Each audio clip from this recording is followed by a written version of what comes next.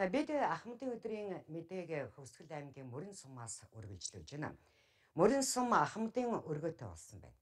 Ахмадын өргөө ашиглалтанд орсноор идэвхтэй бие чирэгжүүлэх дасгал хөдөлгөөнд хамрагдах, цаашлаад төрөл бүрийн сургал зохион байгуулах, урлаг спортын арга хэмжээ зохиох зэргээр ахмадууд ойр ойрхон уулзаж нийгмийн олон талтай ажилд оролцох боломжтой болж байгаа юм байна. Монгол Улсын ажилтны дүрийн гавьяат ажилтан содном мөрөн сумын 4300 гаруй ахад буурлуудын нэг. Өдгөө 80 насны албаг зузааж өндөр наслсан хэдий ч бүтээсэн зүйлийнхээ урмаар тэтгэгдэн яваа олон буурлуудын төлөөлөл. Эдгээр ахмадууд өөрийн гэсэн өргөө байртай болох хүсэлтийг тавьж мөрөн сумын 9 дугаар хороонд 200 сая төгрөгийн хөрөнгө оруулалтаар баригдсан ахмадын өргөөгөө ийхүү хүлээн авч байна. Энэ одоо ахмад бид нэр одоо ийм сайхан өргөө барьж одоо төр засаг одоо тэр Мөнхбаатар гишүүний одоо Харин мөнгөний хөөцөлдөж одоо энэ мандаа одоо аймгийн одоо засаг захиргаа бүгдэнд л одоо оролцож энэ бидний төлөө одоо их их сайхан яасан байна. Ийм сайхан байртай болсон. Энэ бол Ахмад бидний одоо цаашдаа урт наслах удаан жаргах сайн сайхны төлөө одоо ийм сайхан юм үтээж байгаа төр засаг түмэн олондоо бол одоо их баярлж байгаагаа илэрхийлж байна. Бид нар эрүүл мэндийн энэ тал асар их хөрөнгө оруулалт орж байгаа. Бид нар баг хөгжлийн төв дээр энэ нэг ахмадын чирэгжүүлэх төвгөд ингээ би. Тэгээ байр маань бол өмнө нь бол яг олон одоо бүгдийн ахмадуудаа одоо хамруулна гэхэд хамруулах боломжгүй байрын багтаамж муутай. Нэг хоёрт өвөл болохоор хүүтэн.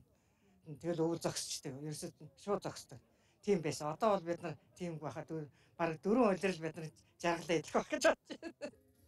Өмнө нь Ахмадын холбоо хорооныхоо байранд байрлаж үйл ажиллагаагаа явуулдаг хэдий ч Ахмадууд цуглаж чөлөөт цагаа өнгөрүүлэх харилцан мэдээлэл солилцох орчин байдаг байсан гэлээ. Тиймээс Ахмадын өргөтэй болох асуудлыг тавьж хөөцөлдсөний эцэст ийхүү асуудлаа шийдүүлсэн байна. Мөн Мөрөн сумын 14 дугаар хорооны Ахмадын өргөний байрны барилга ажил 80% таа байгааг гүйцэтгэгчид хэллээ. Цаашид ч Ахмад буурлуудын асуудлыг төрөөс дэмжиж ажиллахаар мэдгдсэн юм. За энд манай ахмадууд цуглаад одоо залуучуудаа одоо үг сургаалаа одоо хайрлах юм боломж нь бүрдэнэ. За мөн өөрсдийнх нь эрүүл мэндэд анхаарах. Одоо өөрсдөө чирэгжүүлэлтийн манай их олон төвөд ажилладаг. За бүжгийн бас юм клубүүд бас ахмадуудын юм клубүүд их олонноор байдаг. Эдгээр маань одоо байр савгүй энд тэнд л одоо тэр чөлөө цагаар л одоо явдаг байсан бол хийдэг байсан бол ингээд өөрийн гэсэн байртай болж байгаа. Энэ бол одоо ахмадууд маань цуглаж чөлөө цагаа өнгөрөх уламж үлдэж байгаа татвал их баяртай байна. За цаашдаа бас энэ Хүсэл аймгийн сумдаа бас энэ ахмадын байрыг одоо барьж байгуулахаар бас төлөвлөж байгаа. Ахмадууд орой бүр заавал сурах 10 гаруй бүжгийг бие биендээ зааж өгч бүжиглэн тэмцээн уралдаанд оролцсон. Энэ нь тэдний хөгжлийг дэмжих эрүүл мэндэд нь анхаарах онцгой нөлөө үзүүлж байгаа тухай ахмадууд хэллээ. Ахмадын баярын босгон дээр эрүүл мэнд бие бэлтрээ ширүүжүүлэх шин байртай болсондоо сэтгэл өндөр байлаа. Дараагийн мэдээг мөн Хүсгэл аймгаас бэлтгэлээ.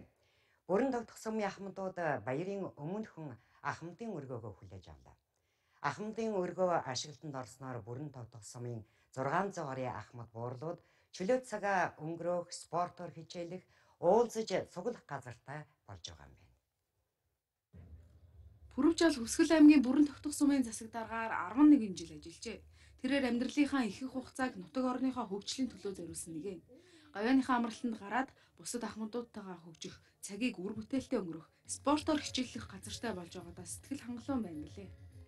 50 сая төгрөгийн хөрөнгө оруулалт гараад энэ сайхан одоо өргөөг ахмад бидэнд барьж өглөө. Энэ бол одоо маш чухал юм арга хэмжээ боллоо гэж бодож байна. Ахмадууд бол ер нь одоо бас эн чинь хэдийгээр ахмад настан одоо тэтгэвртэй гараад ингээд байсан ч гэсэн бие чирэгжүүлэх, чөлөө цагаа зөв боловсон өнгөрүүлэх ийм арга хэмжээ бол маш чухал байгаа шүү дээ. Одоо энэ ийм сайхан том өргөдөө болсон учраас одоо энэ ахмадын зориулсан үйл ажиллагаа явуулах маш сайхан болсон. Энд бол одоо манай ахмадууд бүгд их баяртай байна. Бүрэн тогтох суманд 600 гаруй ахмад буурлууд бий. Тэд өмнө нь 5-ыг харьцах 6-гийн хэмжээтэй жижиг байранд цугладаг байж.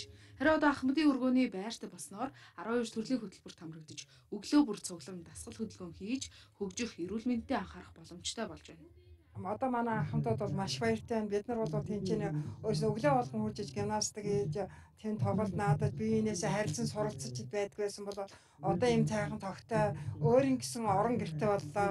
Ийм учраас бол улам бид нар энэ эрүүл энхийнхаа төлөө өөрийнхөө эрүүл мэндийн төлөө мөн энэ сумын залуучуудыг бас өөрснийхөө одоо үлгэр дуурайлаар зөв боломжтой хүмүүжүүлэх харилцааны чадвардаа маш бид нэр их анхаардаг.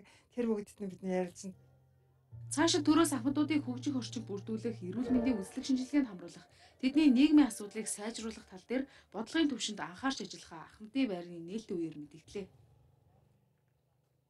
За үзэгч та бүхэндээ бид Ахмадын баярын өдөрт зориулсан мэдээ мэдээллийн багцыг